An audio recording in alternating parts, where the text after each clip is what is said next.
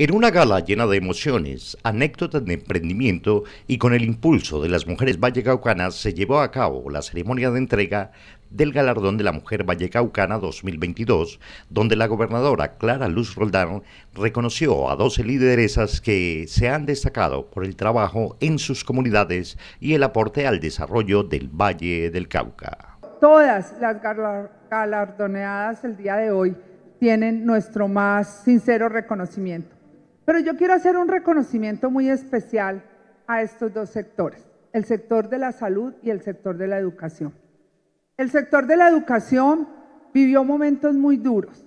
en los que sobre todo nuestras instituciones educativas de los 34 municipios no certificados fueron instituciones que no tenían internet, que no tenían eh, eh, todo lo que podían lograr las ciudades principales y sin embargo ella, yo doy ejemplo de una mujer que vi llevar a caballo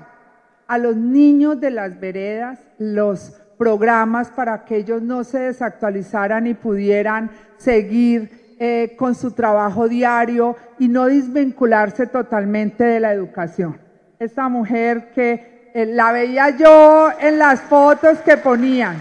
Asimismo, recibieron galardón en el ámbito político Yolima Meneses y Olga Polindara. En el ámbito deportivo, las lideresas Barbarita Díaz y Mildred Pineda. Y en el nuevo ámbito rural agroecológico, Marta Lucía Pachopate y Geraldín Grajales. En la jornada, además, la gobernadora exaltó a representantes del sector salud y educación que durante dos años de pandemia han sido claves para continuar con estos servicios a los vallecaucanos. Sí, 12 mujeres de seis ámbitos muy importantes fueron reconocidas, galardonadas y además se le dio un estímulo económico por parte de la señora gobernadora como reconocimiento a su labor después de haber salido eh, seleccionadas por el jurado de 76 postuladas. También tuvimos un reconocimiento especial a dos sectores muy importantes, el sector salud y el sector educación, por aquella perseverancia, trabajo, eh, trabajo social, coordinado, interinstitucional que se realizó durante el tema de la